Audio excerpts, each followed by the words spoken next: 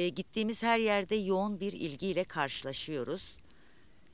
Çünkü herkes biz kendi broşürlerimizi, Yeşil Sol'un broşürünü dağıttığımız zaman bile herkes hadi bir an önce değişim olsun. Çünkü e, 21 yıldır AKP iktidarda ve e, bu ülkede hakikaten insanlar ekonomik krizden, yoksulluktan, işsizlikten, şiddetten, baskıdan artık e, bir çıkmazda görüyor kendisini.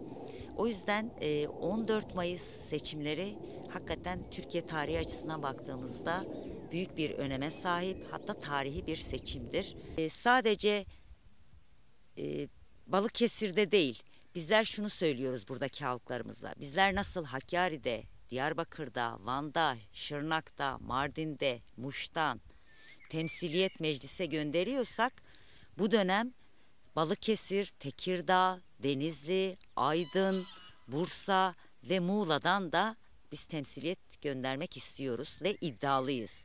İddiamızın ötesinde aslında kararlıyız da. Çünkü müthiş bir potansiyelimiz var. Ve e, ben inanıyorum ki bu dönem e, bu kentler tarih yazacaktır.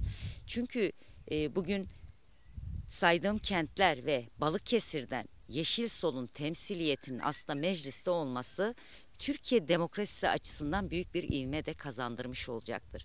Ve bizler yeniden yeni bir yaşamı inşa etmek için Balıkesir'den de temsiliyetimizin olması gerekiyor ve Yeşil Sol'un aslında e, Türkiye'nin tüm kentlerinde her tarafı yeşile boyayacağız diyoruz. Biz e, sürekli şunu söylüyoruz ya Türkiye'nin demokrasisinin inşasında, eşitliği, özgürlüğü ve barışın inşasında partimizin rolü çok büyük ve anahtar konumundayız.